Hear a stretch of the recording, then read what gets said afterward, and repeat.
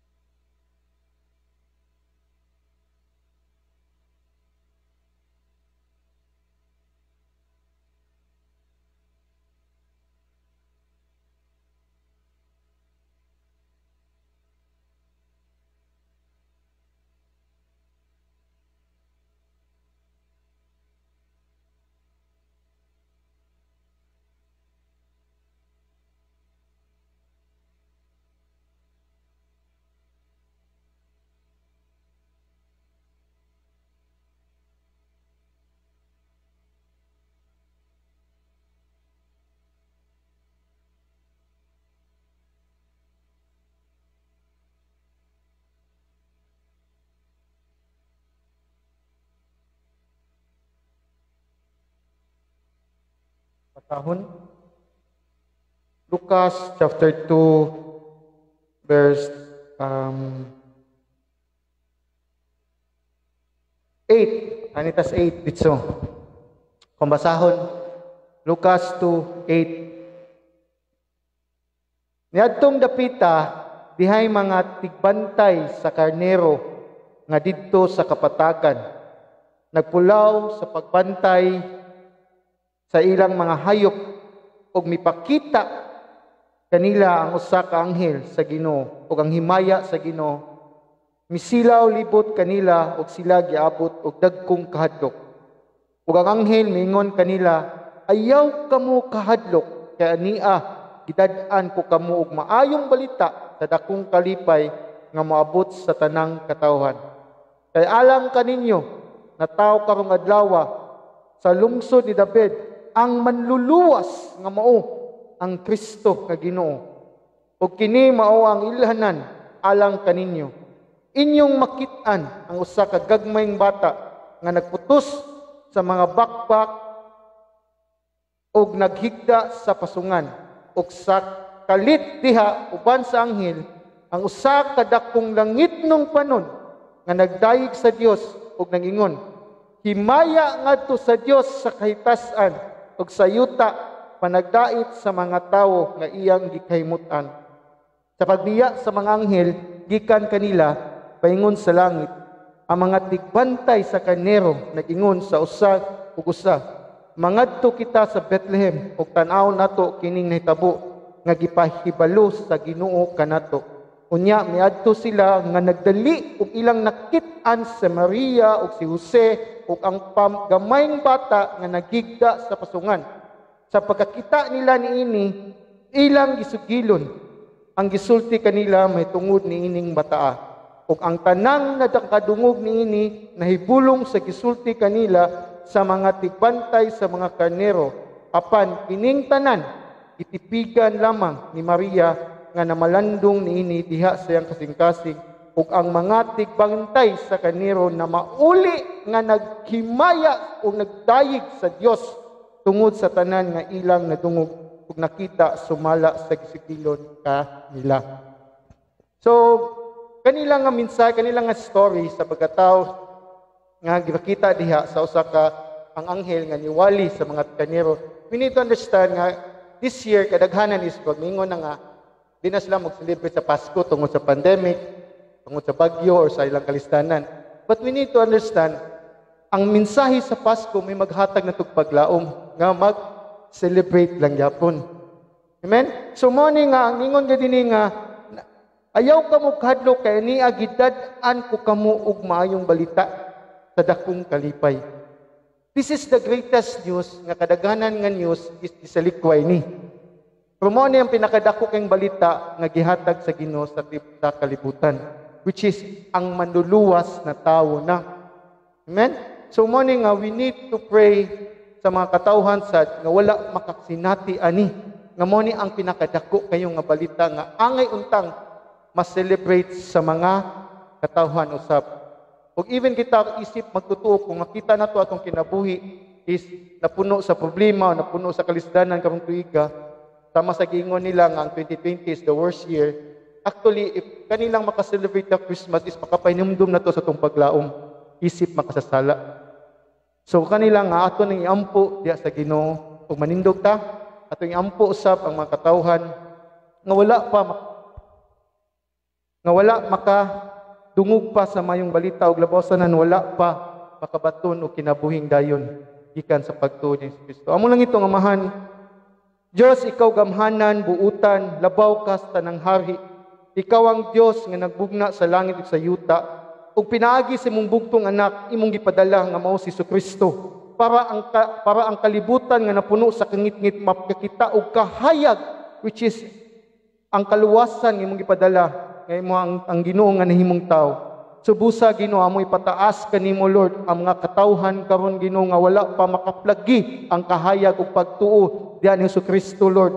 Lord, we pray kung nagpadayon mi sa pagampo sa mga katawhan karon especially this month, Lord, nga mag-celebrate o Christmas o kadaghanan, Lord, ang Pasko na focus sa mga butang, na focus sa mga regalo, ginuamahan, pero ang pinakadako kay nga regalo, which is yung bugtong anak, Lord, nga dili kasdaghanan o Ginoo wala makasabutan ni kadaghanan isa likway ni nga gasa Ginoo. So busa man amo ni pataas kanimo nga ikaw unta Lord. Lord mag-abli silang kasing-kasing unang-huna nga imos lang dadon sa saktong pagpanabot ug sa saktong mensahe may tungod sa Pasko Ginoo man.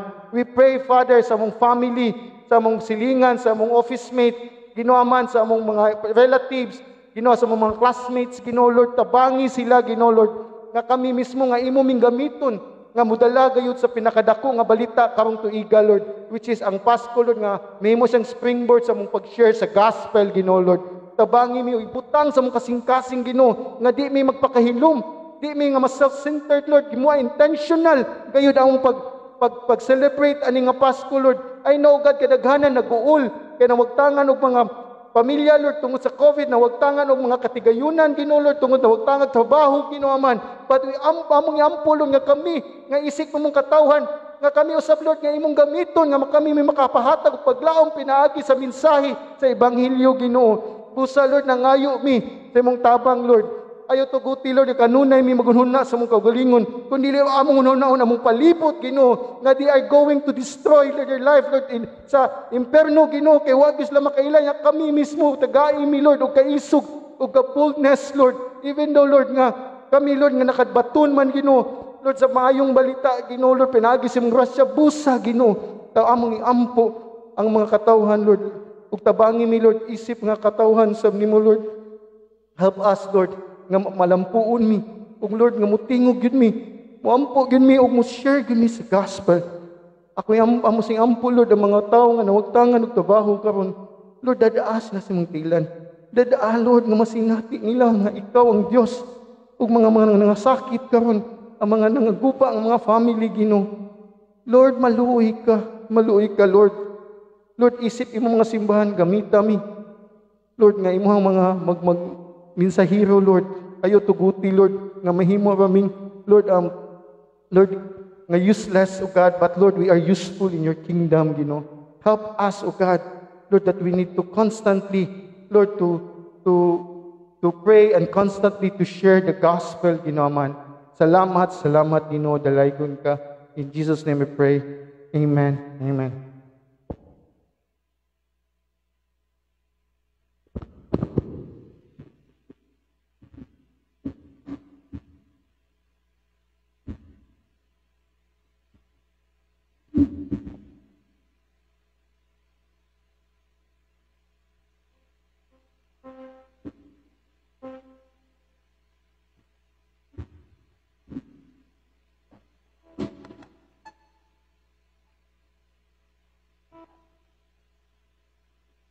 Mayong buntag sa tanan.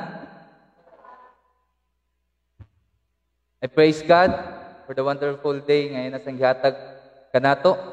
Salamat ta sa grasya sa Ginoo na kita nagtigom na usab karon. Paliko greet sa inyong tapat ug mayong buntag. Morning. buntag.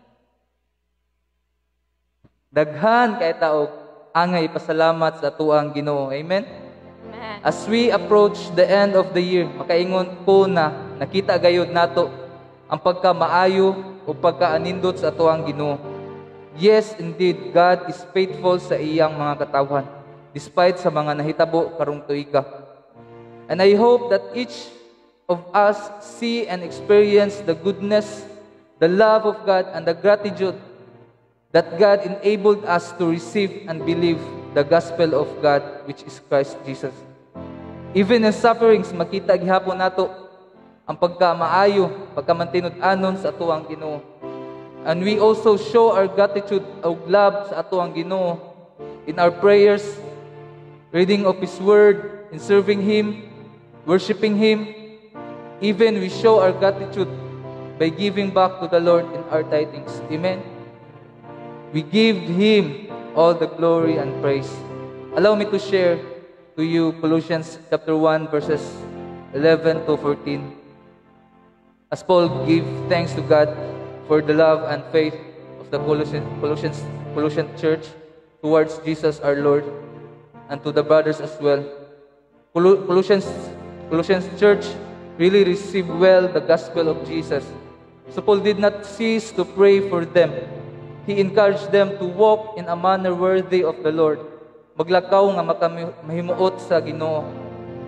Bearing fruit in every good work, ug mas mulawom ang ilang pagkaila sa Ginoo. And Paul continue in verse 11. Being strengthened with all power, according to his glorious might, for all endurance and patience with joy.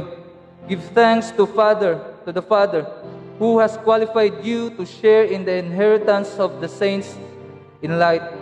He has delivered us from the domain of darkness and transferred us to the kingdom of his beloved Son, in whom we have redemption, the forgiveness of sin.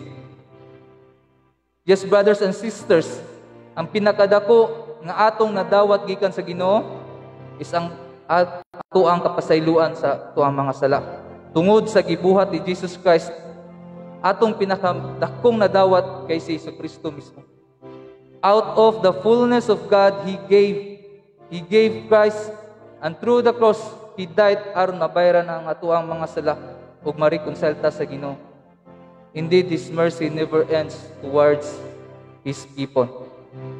Daghan kay taog ang ipasalamat sa Ginoo. Amen. Amen. So karong buntaga, akong gi-encourage ang tanan to show our gratitude gratitude to God. Let's praise Him. Ug ato ang simbahon ng ato ang Ginoo.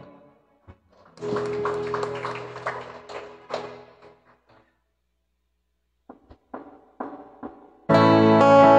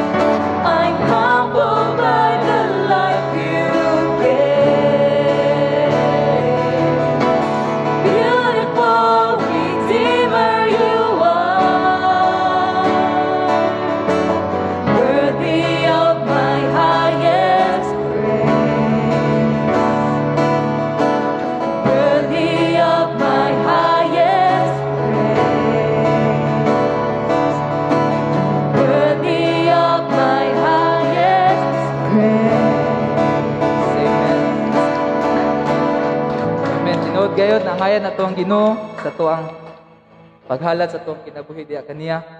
Once again, mayang buntag sa tanan. O atong welcome ang matag usa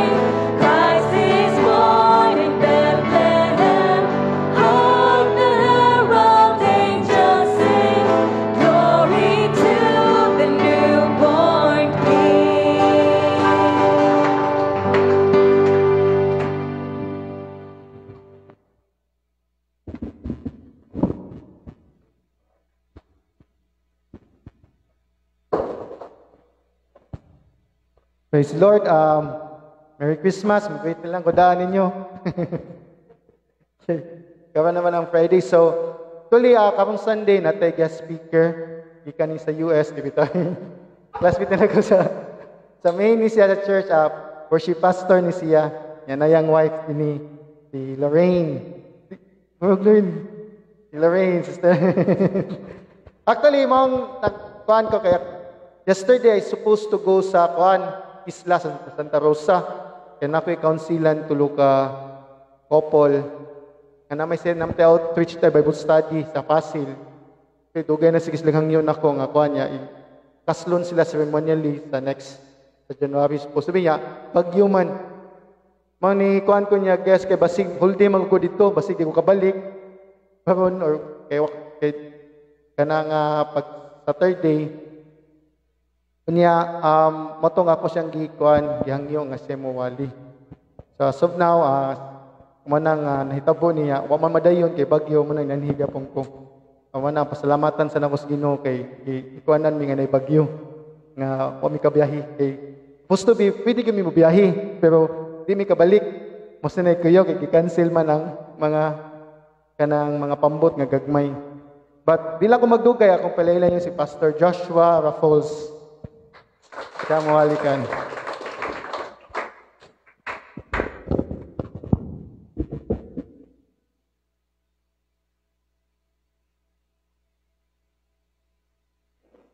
Yes, okay. Ang buntag sa tanan. Ang buntag, it's almost Christmas and I know andam na ta mga onog mayo, di ba? Praise the Lord.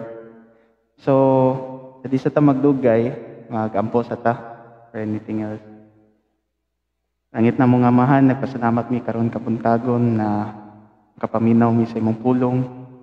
Nagampo mi Lord na iandam ni mo among kasing-kasin, dili lang sa atong among pagpaminaw dili lang kutob sa pagpaminaw pero Lord na ang pulong nimo mag-usab sa among kasing-kasing ug mag-usab sa among kinabuhi.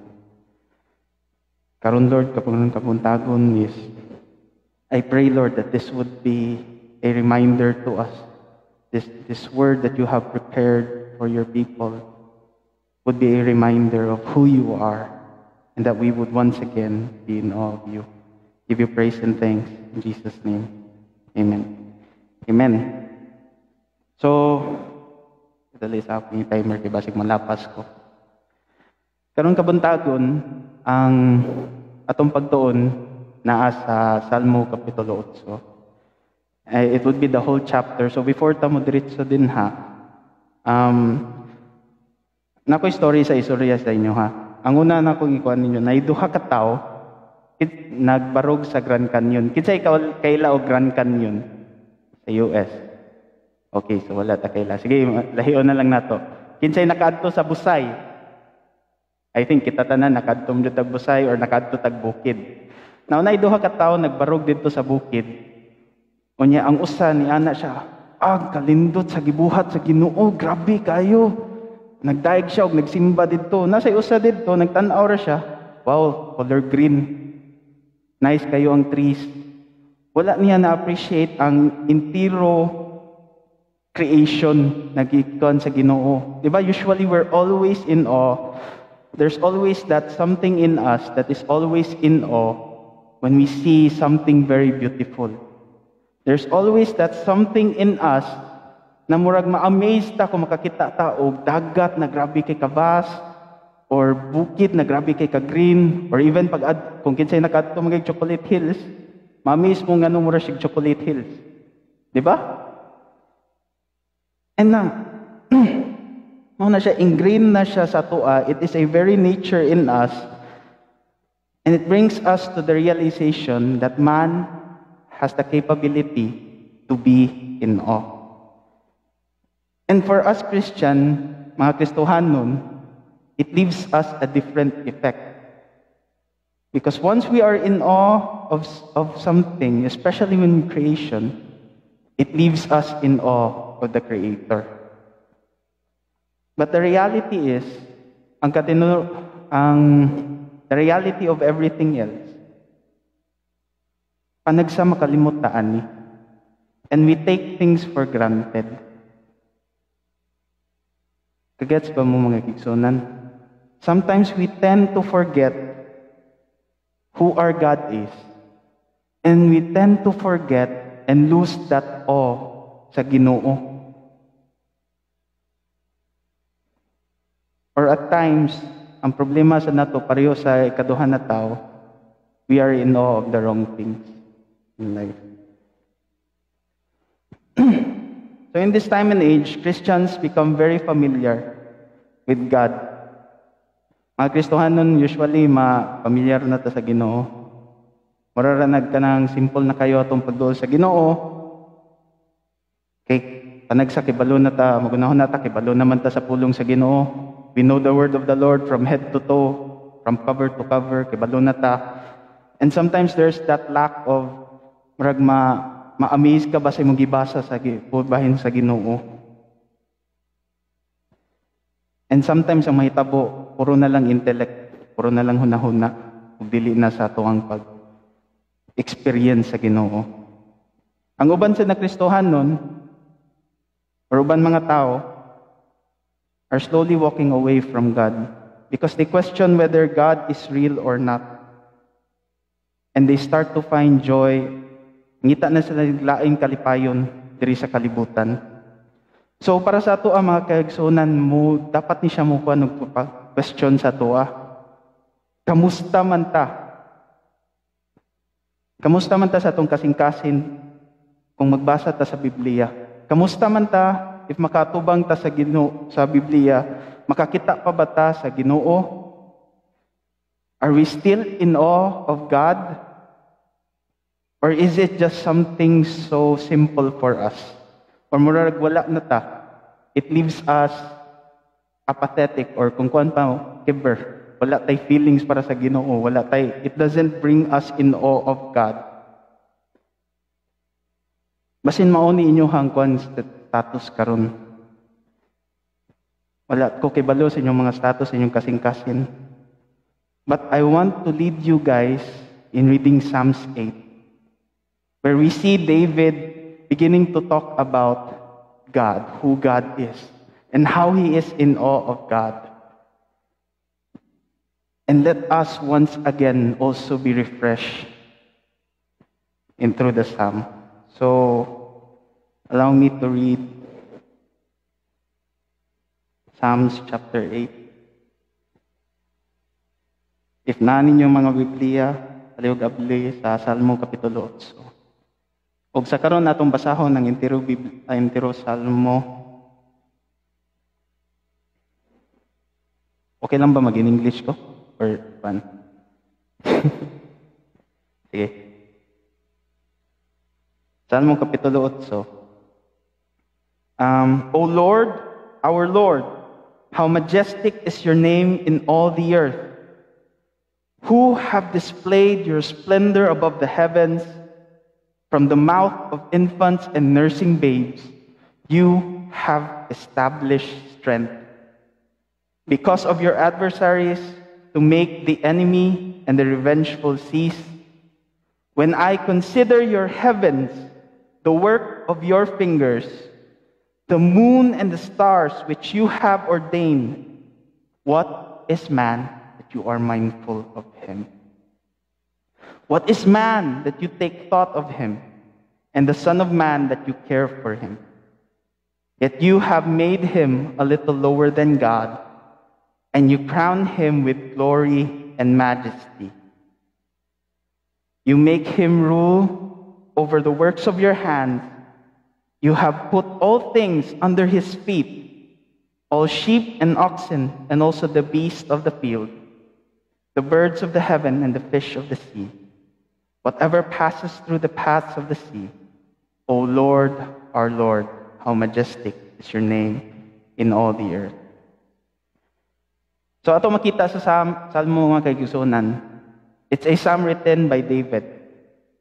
It's a psalm that has a specific purpose. Mo ni siya ang gitawag nato na salmo sa pagdaig or a psalm of exaltation, a psalm of praise. Makita man nato pag start pa lang dan, O Lord, our Lord, how majestic.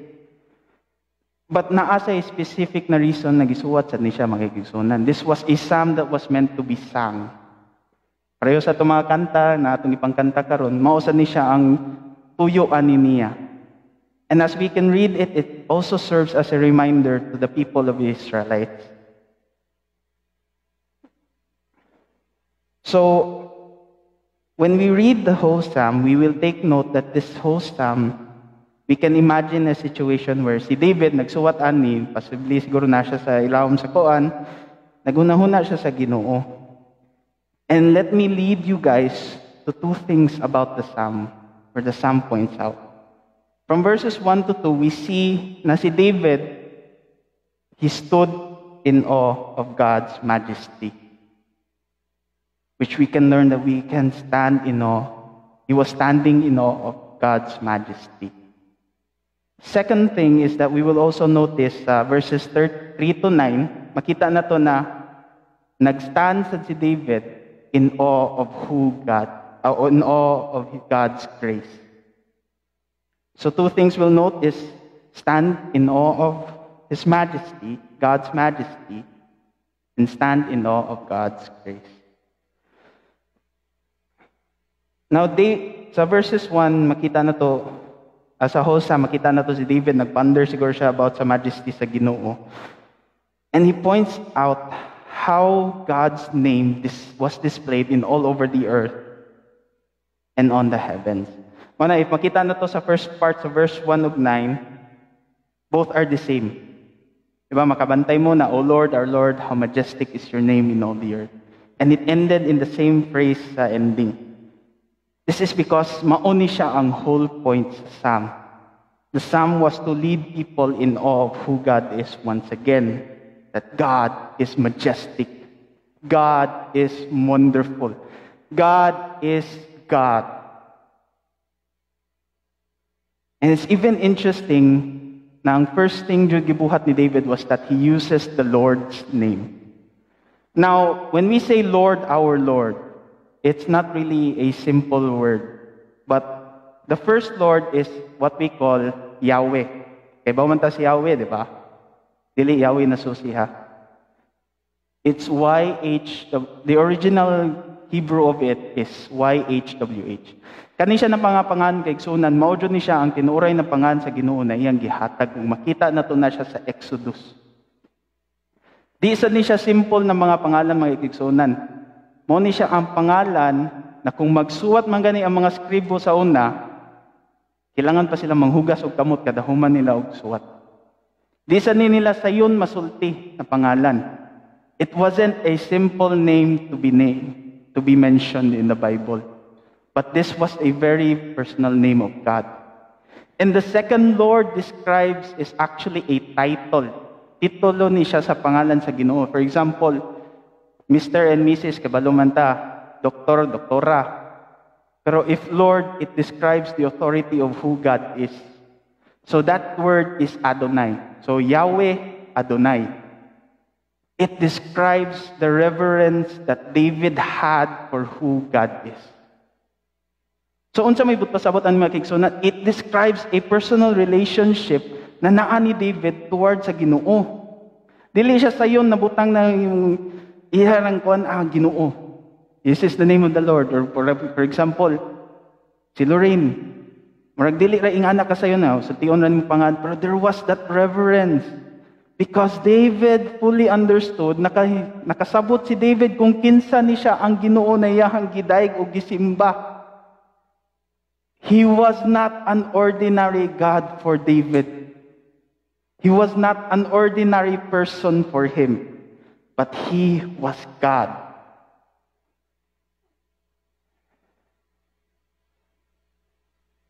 And it's even interesting that he describes the name of the Lord, just the name, ang pangalan ng Diyos sa Ginoo, as majesty.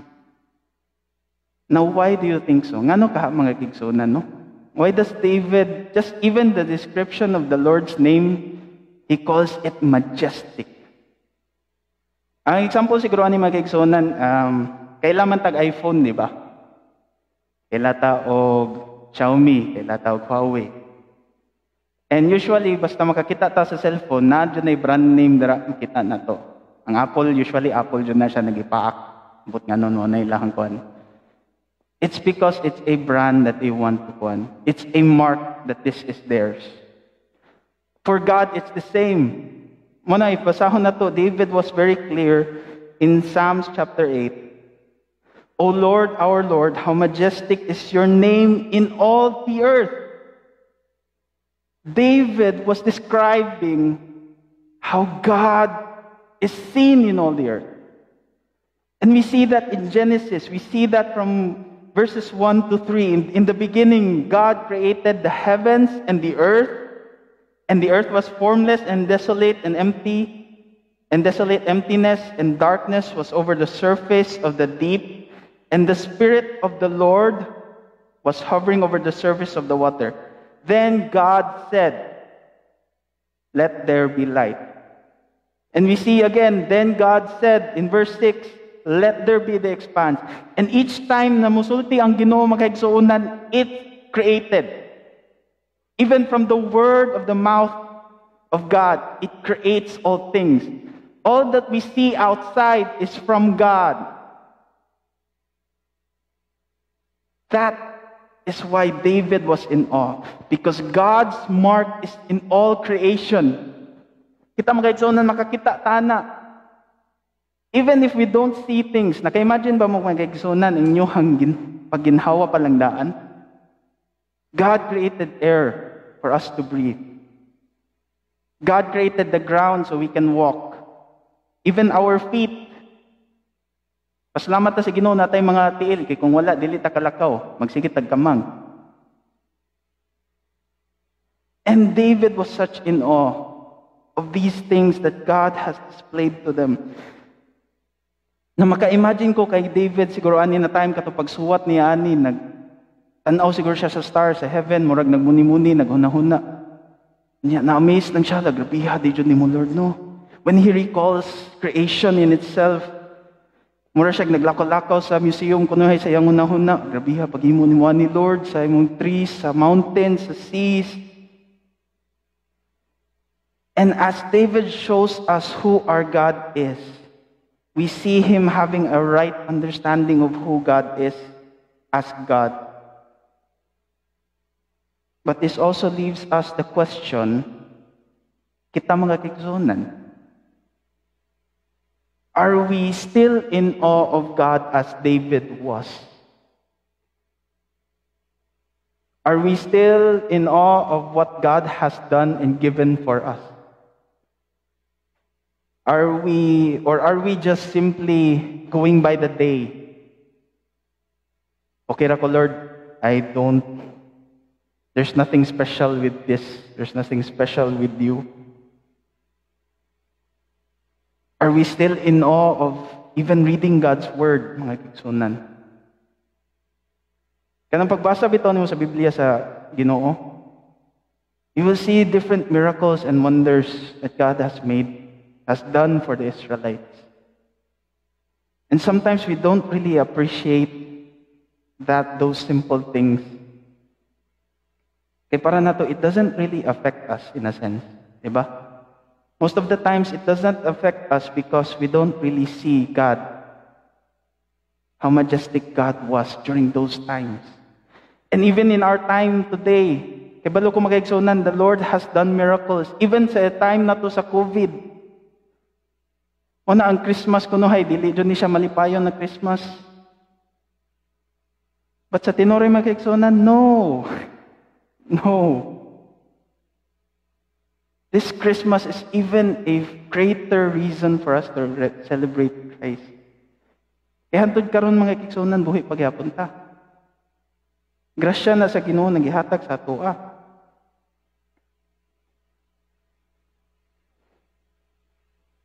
So this teaches us to once again be in awe of God. If you have lost that awe of God, go back to Him once again. If you have lost that joy in God, even in reading God's Word, beg and pray once again to be in awe of Him. See God for who He is, like David did. Pareho sa gibuhat ni David. Be in awe of God by seeing Him for who He is and his, in His majesty.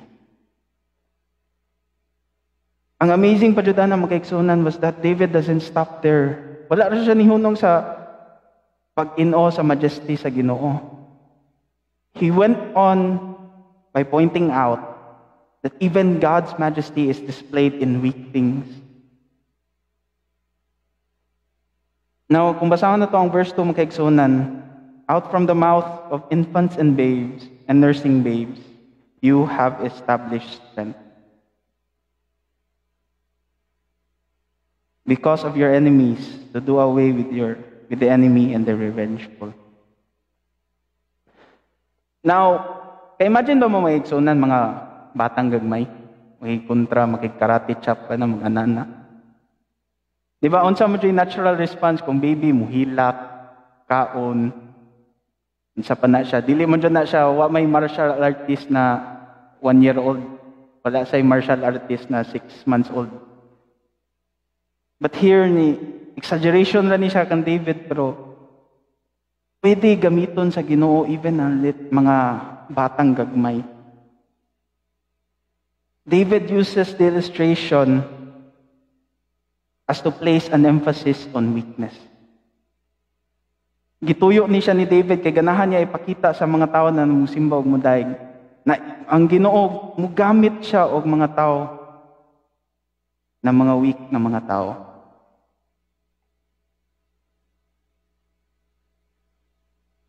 And at the same time, this would be a great insult sa mga kontra sa Ginoo.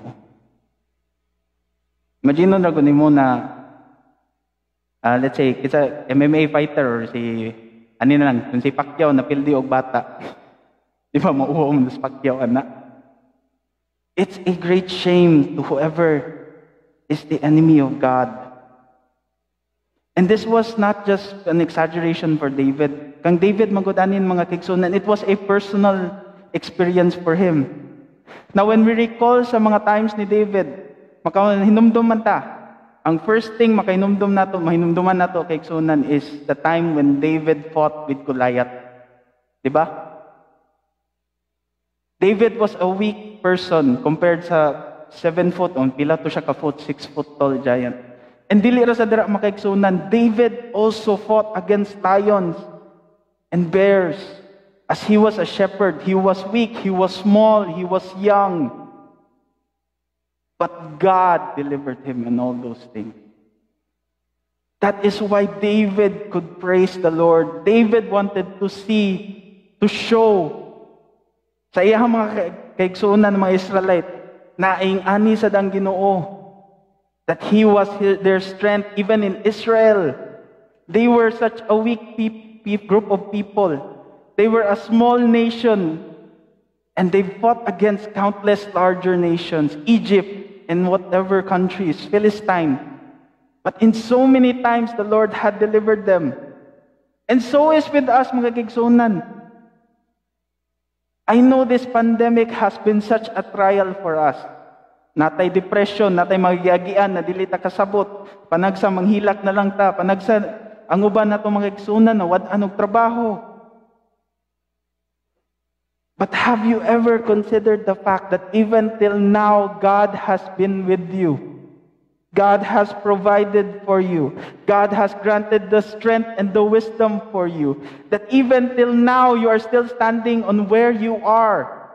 Napagihapon mo diri, nagsimba. Napagyapon mo'y makaon, nabuhi pagyapon mo.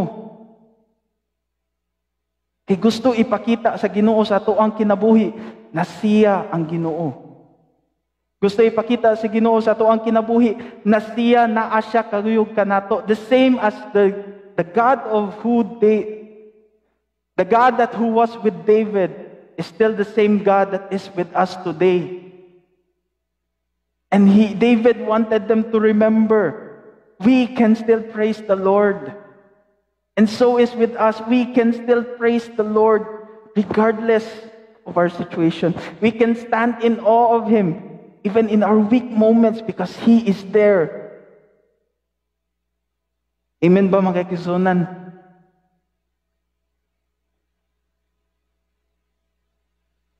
Find comfort in this, that in the very fact that our God is powerful enough to even use infant babes. Mga bibing gagmay, magamit pa kayo na sa Ginoo unsa pa kita. Nothing is impossible with God. And that's why David was si David, grabe kaya ang exaggeration ani. Para lang jud makita sa mga Israelites o para sa kita mismo makakita sa ta. Ano na ang truths about sa Ginoo na pagbasa, pagkuhan ni David, ano left David really in awe of who God is. But at the same time, it led him to be in awe of God's grace in his life. It led him to be in awe sa unsay grasya na gihatag sa Ginoo sa iyaha. Mana kung atong basahon mga sunan ang sunod na sunod na verses. Allow me to read. Especially sa verse 3. When I consider your heavens, the work of your fingers, the moon and the stars which you have ordained. And in verse 4, what is man that you are mindful of him? What is man that you think of him? And the Son of Man that you care for him? So in verse 3, David ponders upon God being a creator. Nakita natin to God created the heavens and the earth, and not even the earth, even the skies and the stars.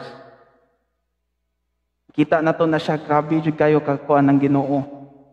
Grabe ka powerful, grabe ka kakuan na to the point na when he made the stars, it was just with the words of his mouth. And David here places such an emphasis that even with creation, God can create anything with just his finger. Diba usually kung kita maghimot ang butang, kailangan pa ta mag-chisel, kailangan pa ta magkuhan. There's always There's always a complicated process, even sa tong cellphone. But God, even with just the word of His mouth, is being able to create things instantly.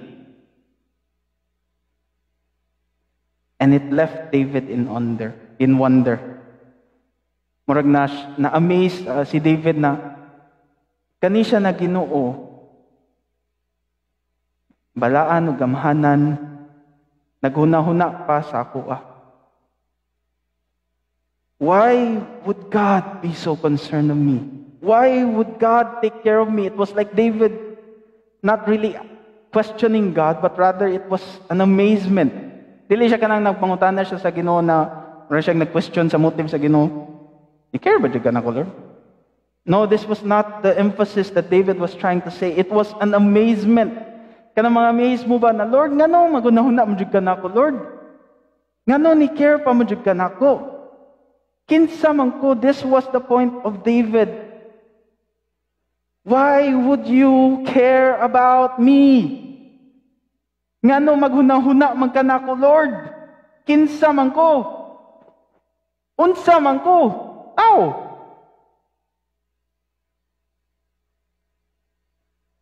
But instead of responding in such ways, the very response David was was in awe. And he shows us that man is truly nothing. When we see the previous verse, verses 1 and 2, and we see 3 and 4, there is a pattern mga kigsuna. Makita na to that there is a pattern that we see. Great God, weak thing. And we see in 3 and 4, we see again God as creator, man as weak. So, is there anything in man that we can boast? No. David himself fully understood na wala siya angay, dili siya angayan. Nabisan magunahon na magayang Ginoo para kaniya dili siya angayan hunaw naon.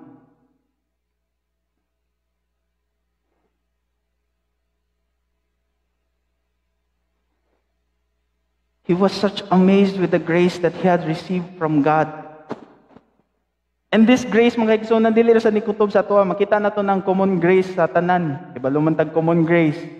It is grace given to God by all, to all man.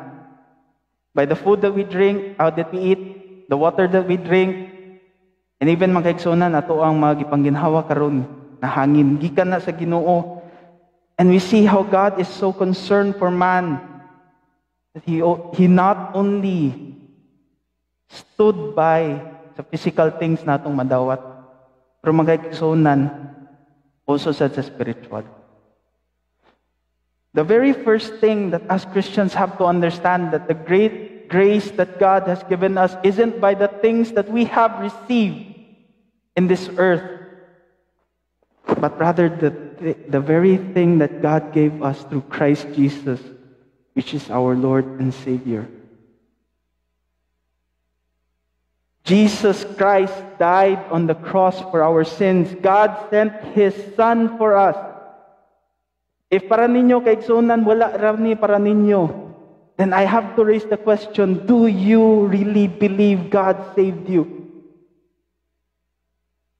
If you are not in awe of God's salvation that He has given to you through Jesus Christ, then I have to ask you, do you really understand what you have received? We, of all people, as Christians, should leave us in awe of such grace that, like David, we could also say, Why, O Lord? Why, O God, are you so concerned for me? Why would you die for me? Why would you save me? Have you ever asked that question? Why would God save you? Why would God redeem you? Ngano iluwas pa man mo sa Ginoo? Angayan ba tayo iluwas sa Ginoo? Nabatay ah, nabay usa sa nato sa atoan na angayan iluwas sa Ginoo? Kung atong hunaw-naon magaigsunan, wala sa atoa ang angayan. And this truth should leave us amazed. It should leave us in awe. And I pray that this would also place in your hearts when you read God's word, when you meditate on His goodness, on the goodness that the Israelites had received. It's the same God who has given us good things in our lives, where He saved us, He redeemed us. Such insignificant man, such insignificant people was made significant by God. Not because we've done anything. And we see that in verses 5 to 8.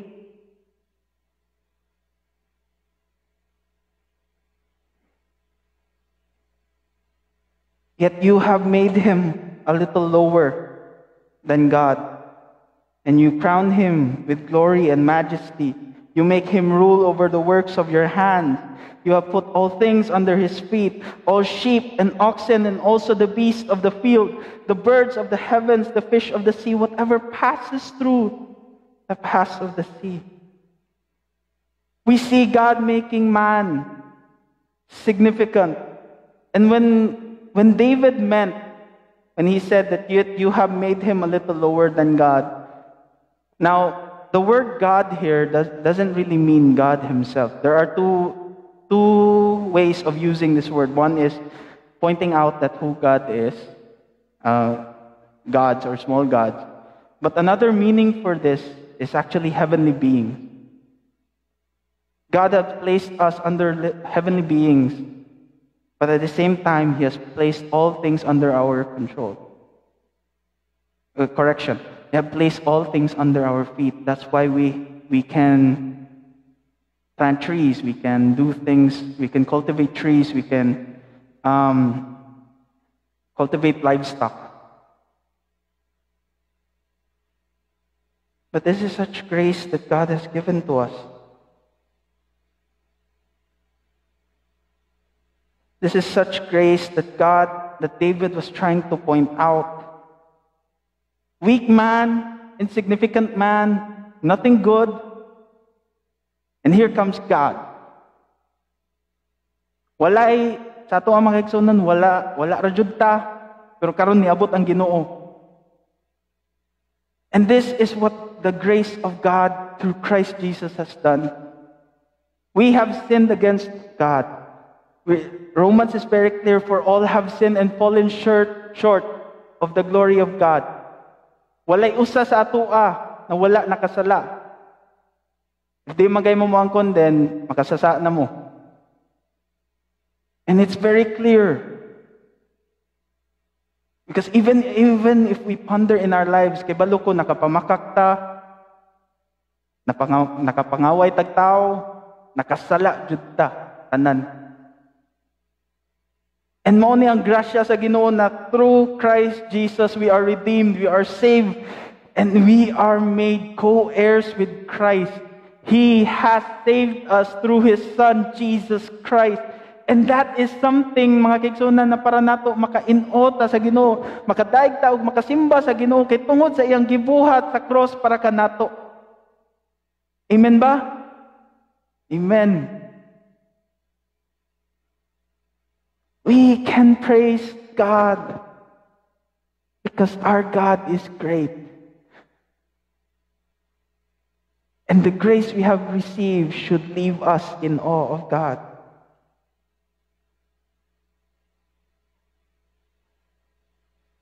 William McDowell Donald gives a mighty illustration of how great grace works. Now imagine yourself being invited to a banquet. Ay kiso na mga banquet ka ng mga usually uh, better example ani ka ng naay mga kananan, mga dagko kay na kwan, social kay na gathering ba? Luxurious na gathering. O imagine na to na siya may sikat na artista. Ah, sige, sige, kuha na lang. Imagine na to na ang presidente sa US, sa US, invite ta dito mga to. I-invite ta, niyo siya, sige, lingkod lang dire, kaon lang, ana na. Niya ang mga pagkaon, grabe jud kay kalami. Kanang mga five-star hotel na pagkaon na imo makita or sobra pa sa five-star kung na 10 star. Sige, nga na jud ka grabe. O kasi pagkahuman sa pagkahuman silang pagkaon, manang inyong kaon, gawas na hinay na nakagawas niya. Idol ang presidente nimo. Ya, kumusta man kaon? Okay ra na na na. Kita mga pobre, o mdo tayo kwarta, tunol ta og piso. Para sa imuhan ni, salamat kayo. Kung ikaw ang presidente niya, ikaw pa nag-invite sa tao, unsay mo ma-feel? Ana. Di mo ma-insulto na i-offer mo din ako ni mo libre, nga mo bayad pa mo ka na piso. Di ba mo ma-insulto na mga kaigsunan? And sometimes, mo na ang problema na ito mga kaigsunan.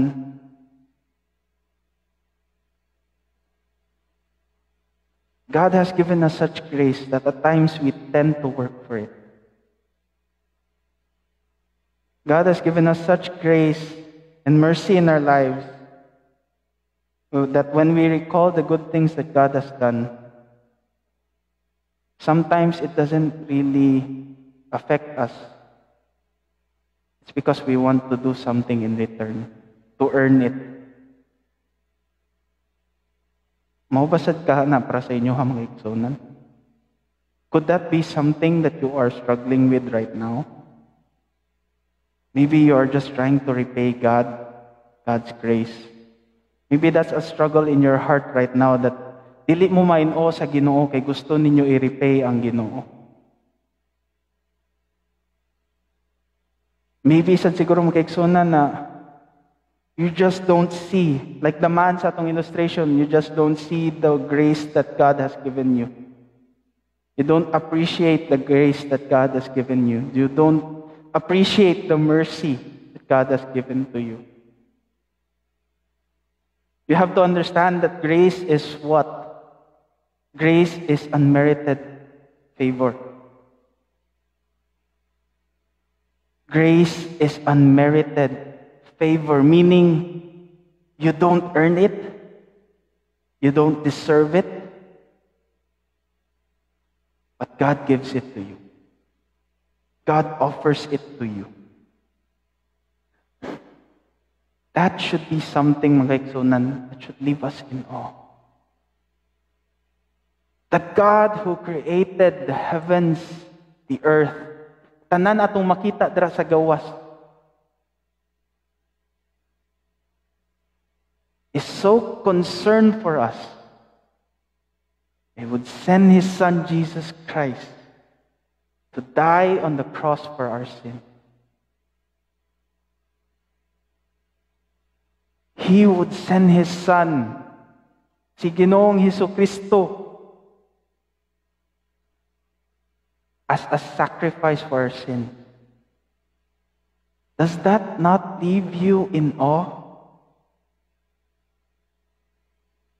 Does that not leave you teary eyed in wonder, as David was, such in wonder of God? Lord, I am amazed. You would be mindful of me. That even when you look into the last part of the verse, that the response of David was, Oh Lord, our Lord, how majestic is your name in all the earth. This was the point of David. Be in awe of God. Stand in awe of God. Simba ta og mudahig sa atong Ginoo kay siya ang gitinuod na Ginoo.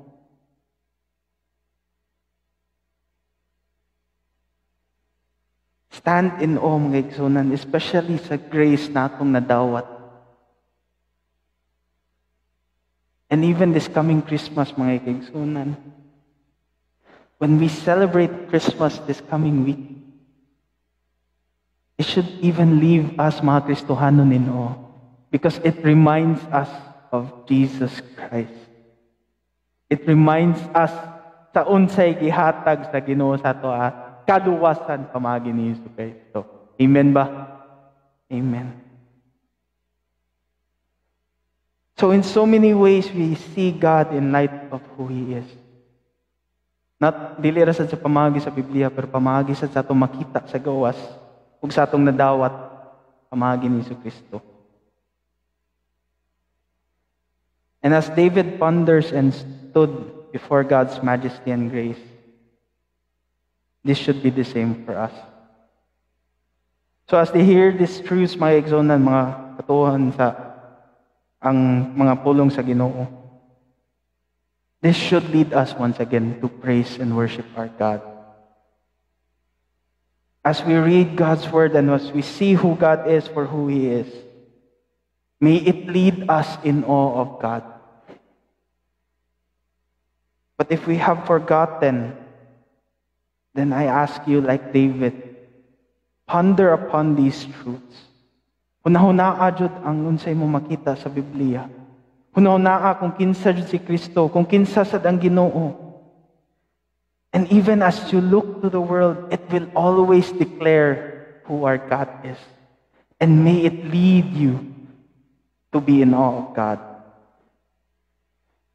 Ponder upon God as David did and see the glories and majesty of God. Amen. Amen. Let's just pray. Let's bow our head. Close our eyes.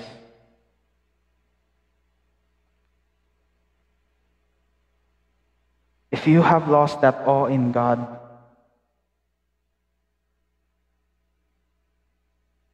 ponder upon God even at this time. Ask for forgiveness if you have lost that joy in Him. If you have lost sight of who He is. Maybe your joy is found in other things, maybe in this world, and it has led you astray.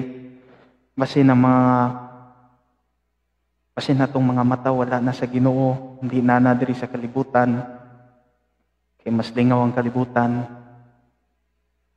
I pray, I ask and pray that you pray right now. You ask for forgiveness if your eyes have been led astray to this world. Then pray for forgiveness. Pray once again na main-o ka sa Ginoo kung kinsa siya ug unsa siya ug unsay ang gibuhat para kanimo. Or on the other hand, kung kamo mga igsunan in awe mo sa Ginoo, continue to find that awe in God. Meditate on His Word.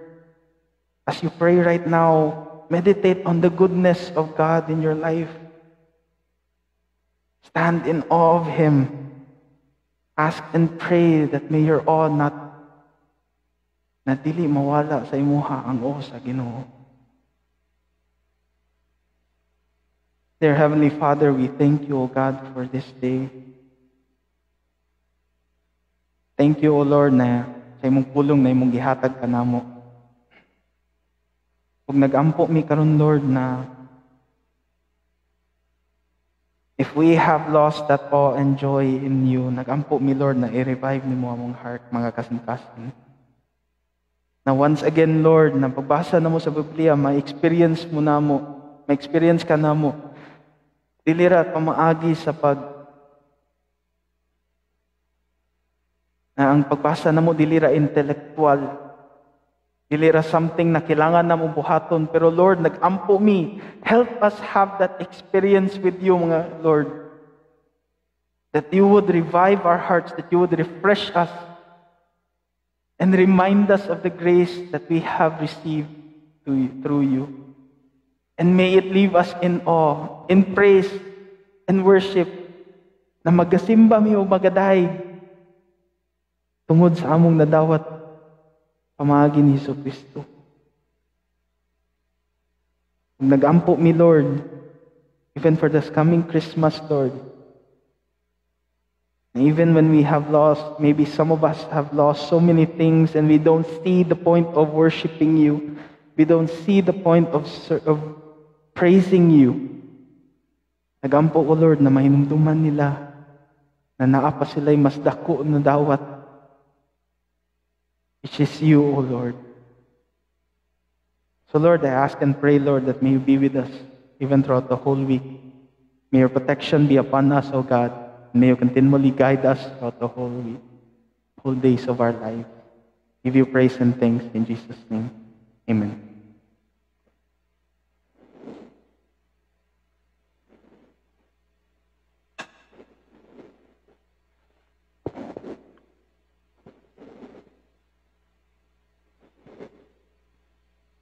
Yeah.